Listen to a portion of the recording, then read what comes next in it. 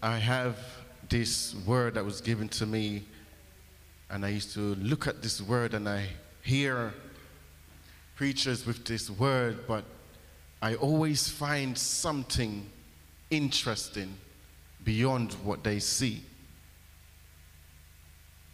And the word was given to me the other side of the coin.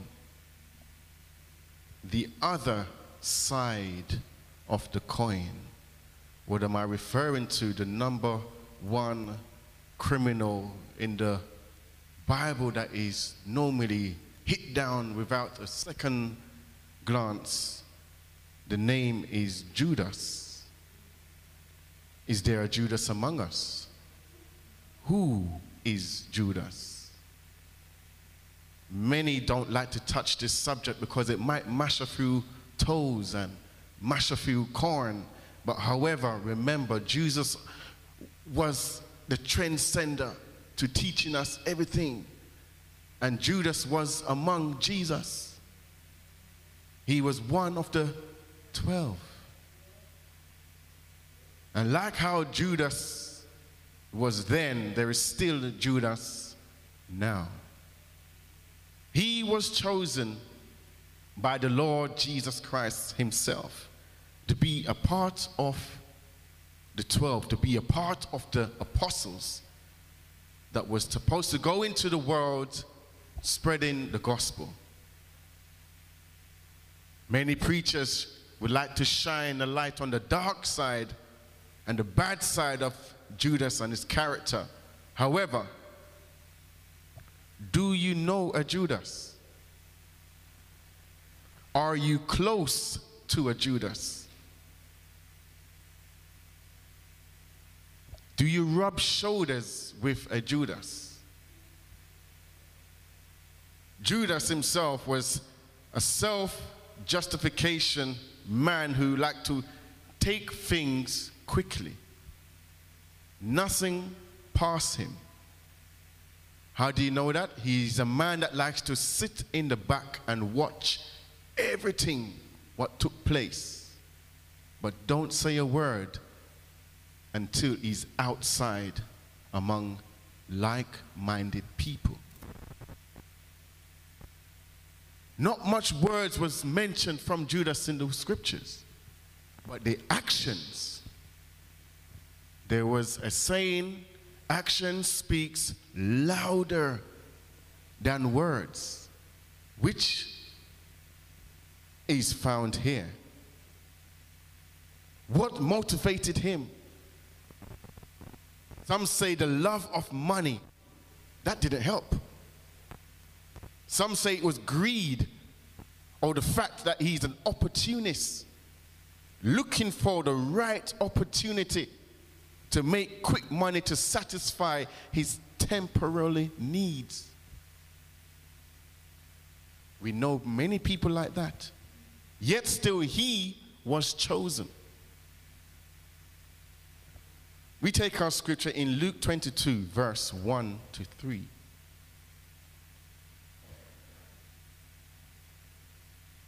Now, the feast of, of, of the unleavened bread was drawn nigh, which is called the Passover. And the chief priests and scribes sought how they might kill him, Jesus. For they feared the people. Then Satan entered into Judas' surname Iscariot, being one of the twelve. That is the key verse, verse 3. How did Satan enter into Judas Iscariot? even though he was one of the twelve.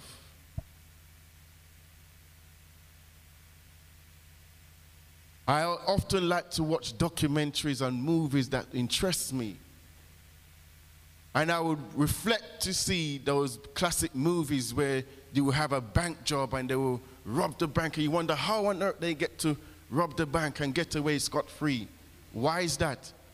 They had an inside man. People that like to go around and smash the, the jewelers and grab and tie up the security. All of a sudden, security is tied up and bound and can't move. Why is that? They have an inside man. Same so with this scenario. Judas was the inside man. Here the Bible identify him, funny enough, first name and last name. First name and last name. How many know the rest of the disciples' first name and last name? That goes to show you the importance of Judas.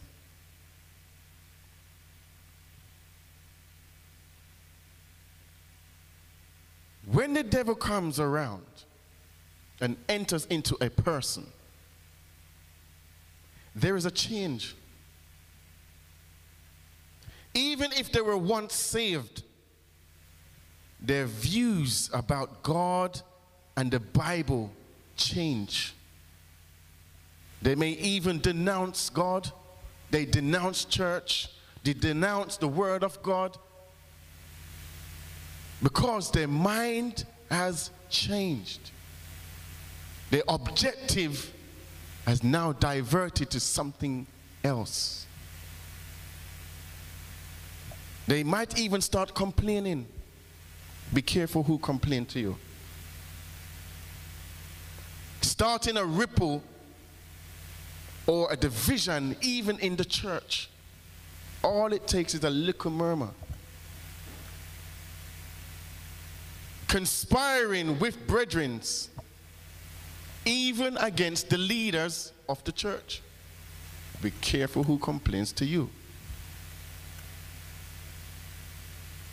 Working himself behind in the scenes where he looked the same, moved the same, act the same.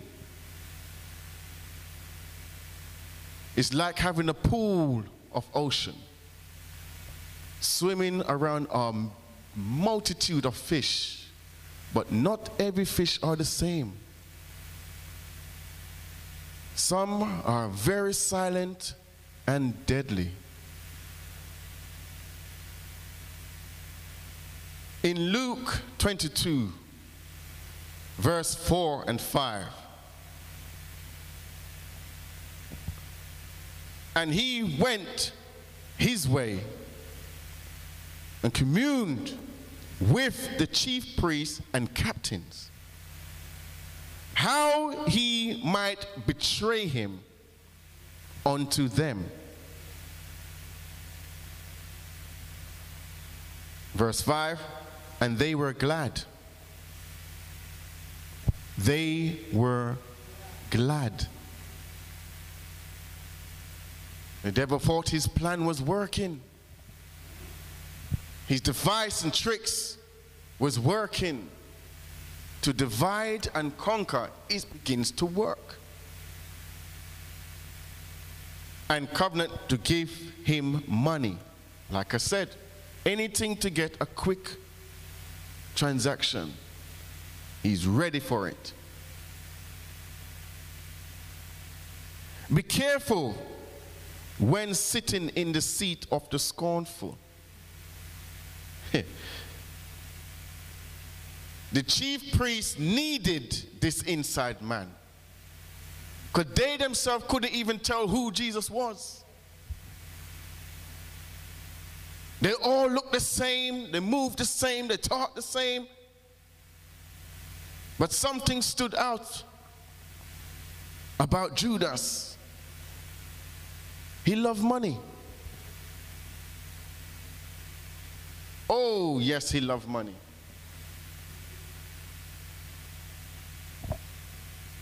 I remember I was told once when I was in school, he was very good at acting and drama. And the teacher said, Would you play a scene with yourself or with another man? I said, No way.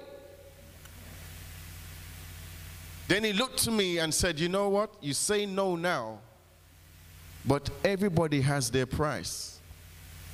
I didn't know he was talking about, you know, until I saw this played out for myself. When another colleague was spot on TV playing a role with interaction with another man. Then it reflected back to me everybody has their price. I am sure they approached Judas on multiple occasions. He might deny the fact, no, no, no, no, I wouldn't do that. I wouldn't do that. Just like Peter, oh, no, no, no, I wouldn't do that. Until the right price was set and the agreement was there. Too late now to turn back because you shook the hand of your enemy.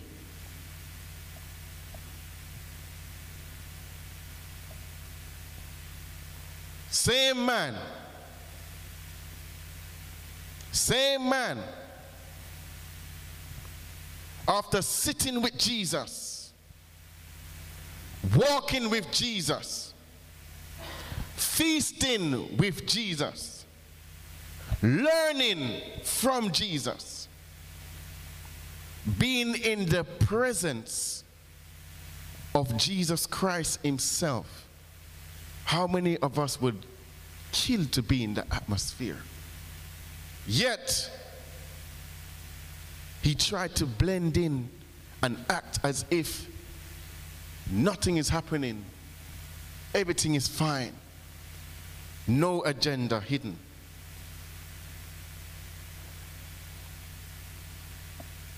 Not standing out. Is not easy to do, especially when you're with lively people. But when you're silent and move less, it's easy for you to slip away. When the commotion is taking place and the excitement is around Jesus, watch those who like to be in the background. You find themselves very close to the exit. So you don't even know when they disappear. You remember they were there. Or all of a sudden they're gone. Have you seen so and so? Well, they were there. But now they're not there.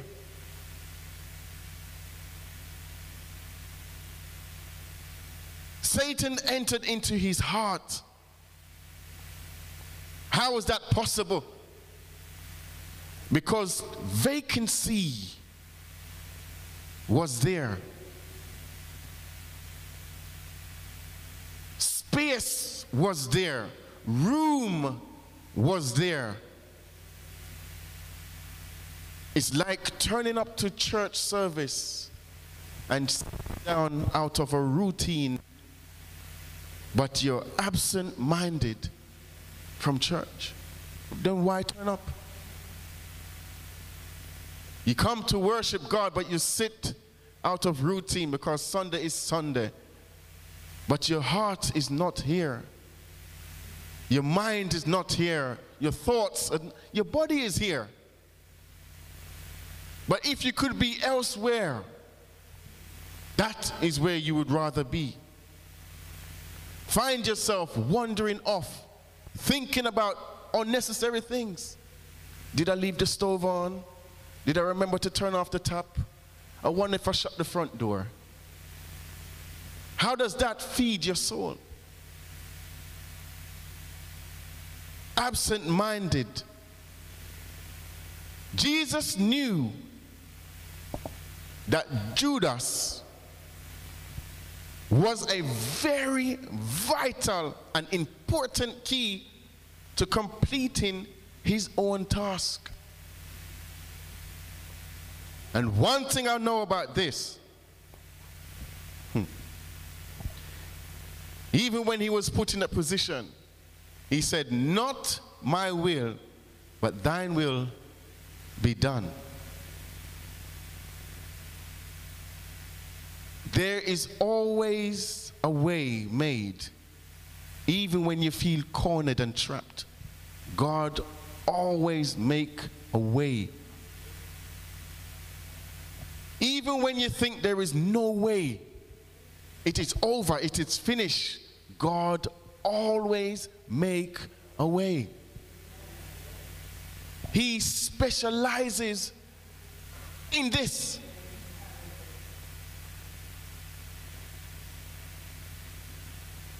Jesus knew that he needed Judas. That's why he never called him out around the table. Hmm.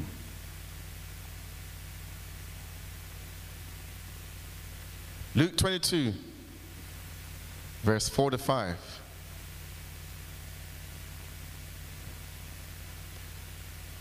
And when he rose up from prayer and was come to his disciple, he found them sleeping for sorrow.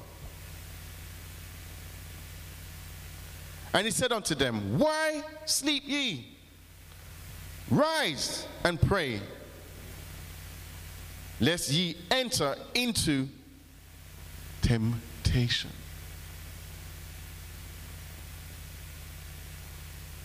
He was trying to prepare their hearts, prepare their mind. When you come into the house of God, you have energy all the way until you reach the front door. All of a sudden, the biggest yawn lick you. You have life singing all the way to church. And as soon as you sit down, it's like weight is on your head. Sometimes your, your voice gone, energy gone. The plan of the enemy. The plan of the enemy. Verse 47 And while he yet spake, behold, a multitude and he that was called Judas, one of the twelve, went before them and drew near unto Jesus to to to kiss him. Hmm. Even though the multitude had arrived, surrounding Jesus and the disciples, they still didn't know which one it was. So they were relying on Judas. So can you imagine the crowd now and Judas being pushed in the front to identify Jesus. So when the disciples see Judas coming, they said, Oh, he's returning. But guess what? He's returning with the wrong crowd because he's being pushed towards the master.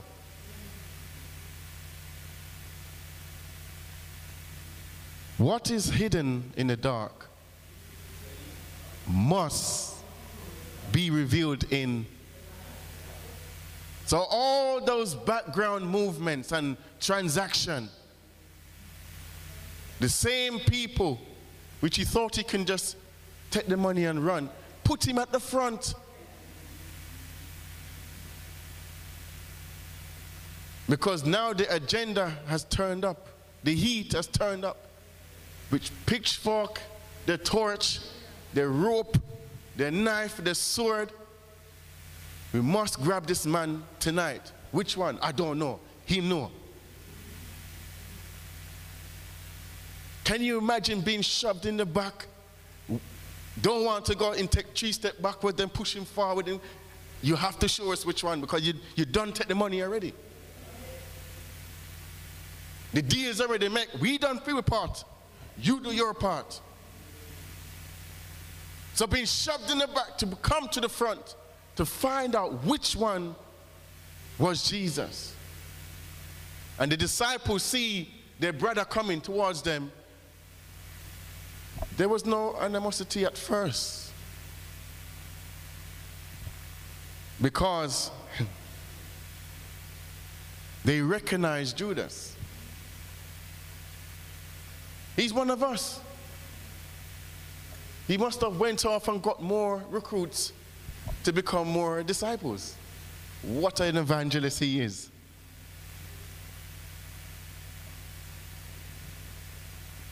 With, with Christ, he already knew what was taking place.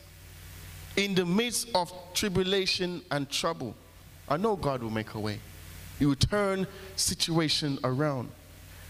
Jesus never let his enemy know what he was thinking. Never let his enemy know that I know that you are my enemy. Why is that? Because if your enemy thinks nothing is going on and he is free, he will move freely and make enough mistakes. Enough mistakes because nobody knows what I am doing. Until it's time to play his part. Because remember, Judas is the man being pushed at the front, but he loves to be at the back. This is out of character for him, very uncomfortable. So when he was given the choice to choose, he made that choice. Now he has to play his part. Judas had a purpose. Can you imagine being born of this world to be the betrayer of Jesus Christ? What a wonderful title on your tombstone. Nobody wants to be called a betrayer. You kissed the master with this army. And before you know it, one disciple take out a sword and what? Touch my teacher, you're better than who? You see, when people preach that the 12 disciples were gentle people, they weren't. Jesus walked with his own little gang. 12 bad man. One of them badder than bad take out knife. You're with Christ, you know, and take out sword. Where you get that from? Where he get that from? And you with the Savior. Why? The reason why he acted that way is because he loved Christ. You mean to tell me, so you come with, with all of this to take him where? To do what? I'd rather. Pass ready. And as soon as he lashed him, boom, ears drop off. So he was bad, but very rubbish with a knife. And catch him with the ears. Yet still Christ took the ear, replaced it back, healed the servant, and warned him and said, Listen to me. Even though I know your heart is at the right place, but if you keep walking that way, you're going to dead the same way. You live by the sword, you die by the sword. Not everything can be handled with a sword. For we wrestle not against flesh and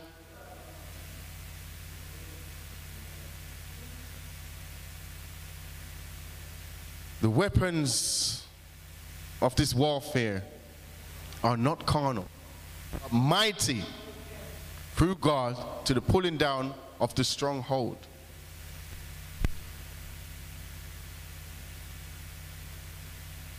Jesus knew this, the disciples individually. There was more than one traitor, you know. There were two. But we killed one more than the other.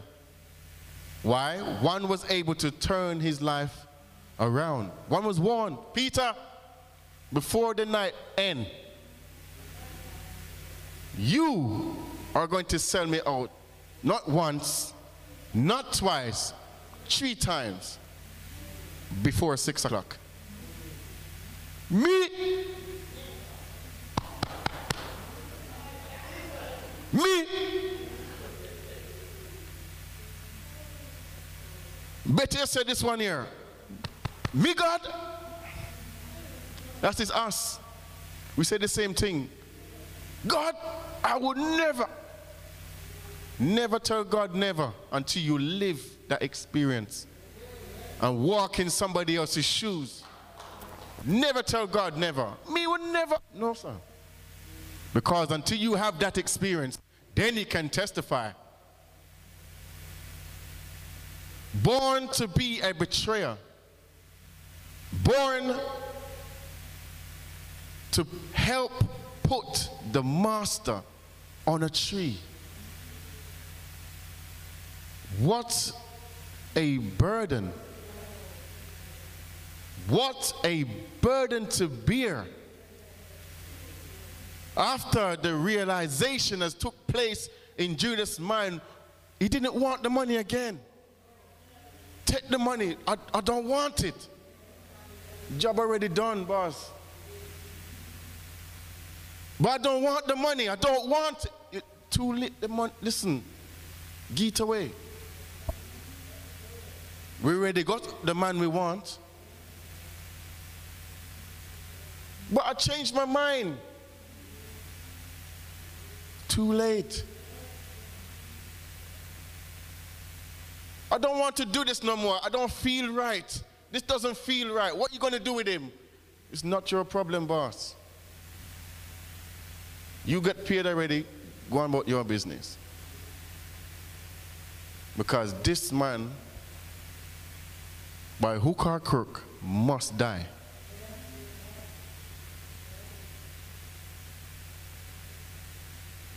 It got to the point where Jesus was bound and escorted away from the same disciples he was around.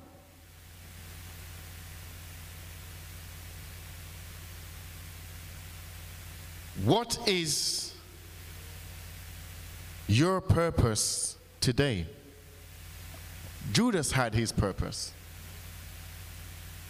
As bad as it sounds, but he was vital for Jesus to meet the cross.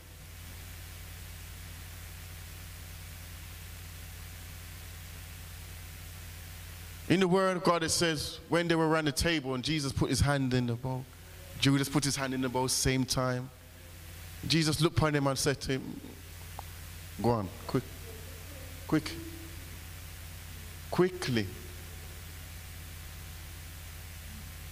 So even if Judas changed his heart temporarily, the master had already spoken and commanded. You see the idea you have in your head? Continue it quickly. So he had to fulfill the task he was born to do. Can you imagine if Judas decided that morning that, you know what, I'm not going to go ahead with it? Nope, nope, nope, nope. I changed my mind.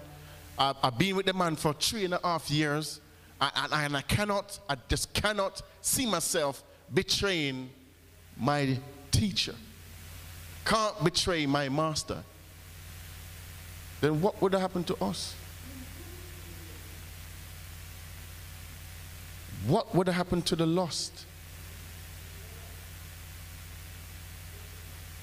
what would have happened to the Gentiles? What would have happened to Pentecost? Where do we fit in? Remember, in every situation, God always make a way. Had Judas not played his part, we would have found somebody else. I'm telling you. Had Judas backed out, he would have found somebody else. But because he was commanded by Christ, do it quickly. We missed that part. When Jesus speaks, it has to take place. Do it quickly. So he acted fast and did his part very quickly. What is our purpose today? Let us ask the Lord to reveal the purpose and plans He has for us. No longer should we hide in the background from our destiny. No longer will we hide in the background doing the routine. Sunday comes, Sunday dong, Sunday come. That's not what we are here for.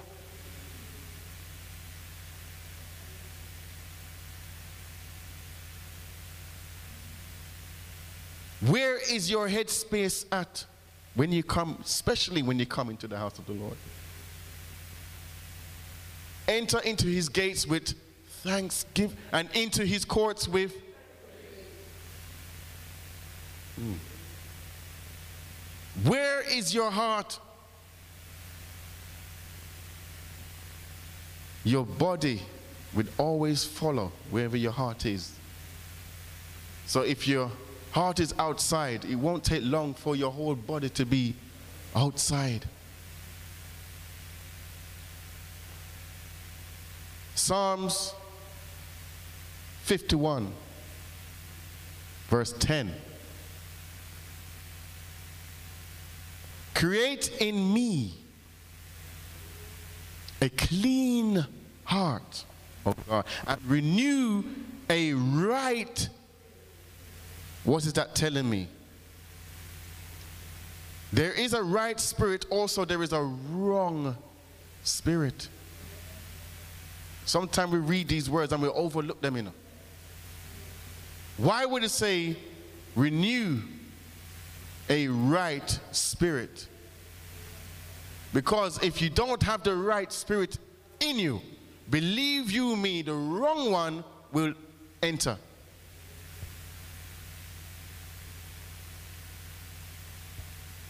Satan is here on a mission.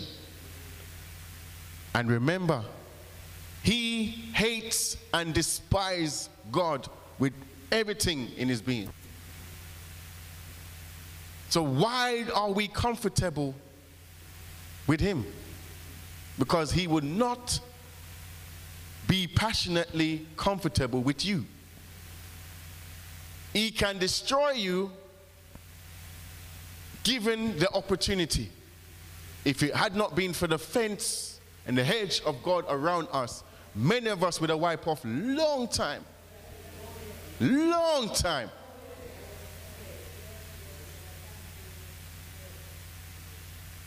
He does not care about us one bit. Why? We are striving to go to the place he once was.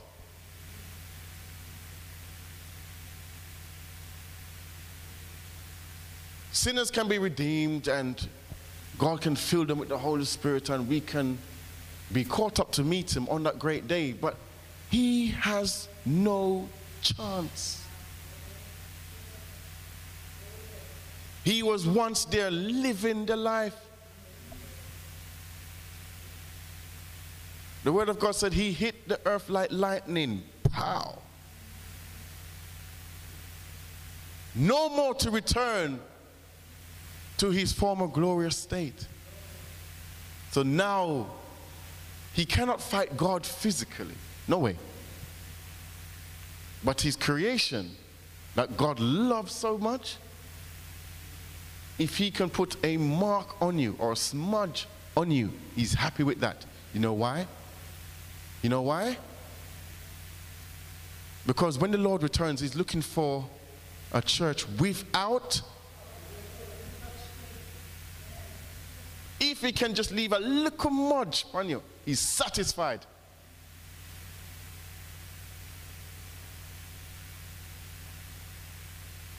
Satan never knew the plans and the purpose of Judas. He thought it was, this was the winning, I had the winning plan. This must work in order to destroy Jesus. Come on. And I find one of the inside man them willing to work with me. This is a win-win. Not only will I destroy Jesus, but I will destroy his word. Field again. Leave no room in your heart for Satan to enter, to distract or influence you.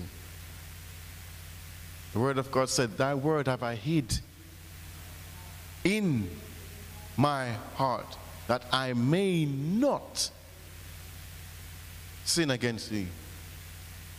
It teaches us what to do. It teaches us the steps, and it's not hard. What is hard is our natural flesh fighting against the spiritual man. That's the battle. Because the flesh doesn't want nothing to do with anything good. Satisfy me, me, feed me, look after me, pay me, pay me attention, and if I feel pain, rub my, yes, pay me. Me, me, me, me, me. That's it. That's why we must put our body under sub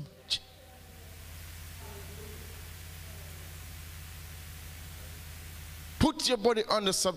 I tell you. First Peter chapter 5 verse 8. Be sober. Be vigilant because your adversary, the devil, as a roaring lion, walketh about seeking whom he may devour.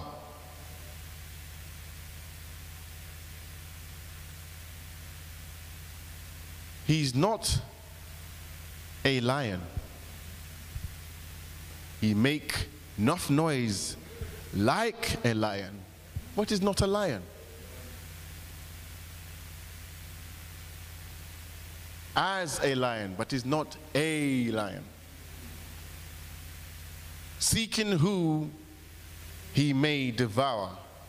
Now, all those who knows the thing about animal kingdom, lions do not devour nothing. Them eat, eat, and them, cha, gone left that.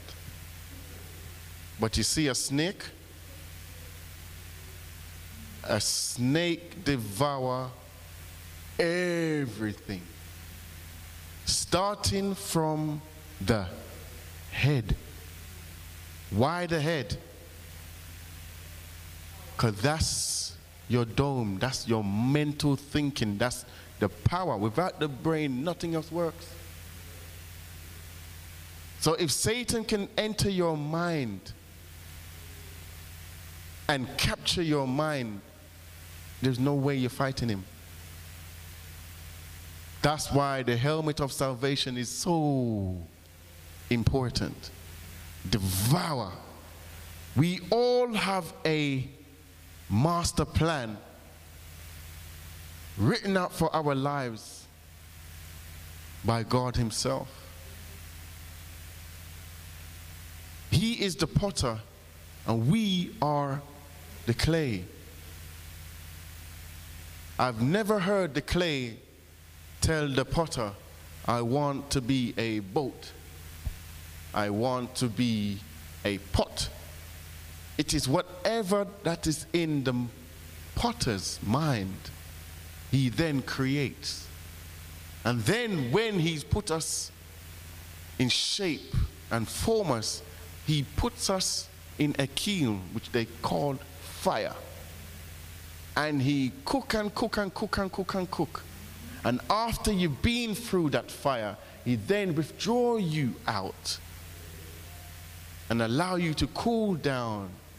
And then he decorates you and say, this is my masterpiece.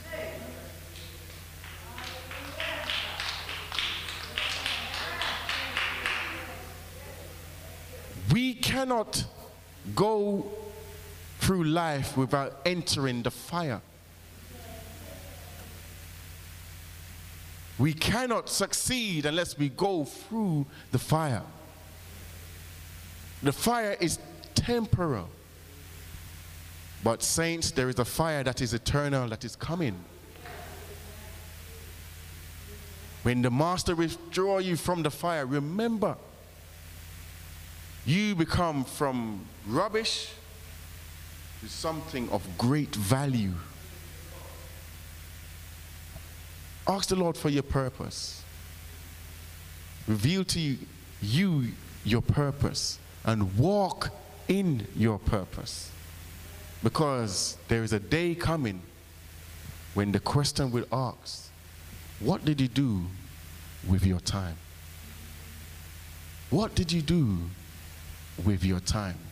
Remember, as bad as Judas was and how they marred his name, his role was so important, even though he didn't see it, he didn't know it. But his role was so important. And so is the role, for example, of mom and dad. Pillars, foundation for the church to be held up and to stand on. Now, this foundation is firm because they build their foundation on the foundation which is Christ.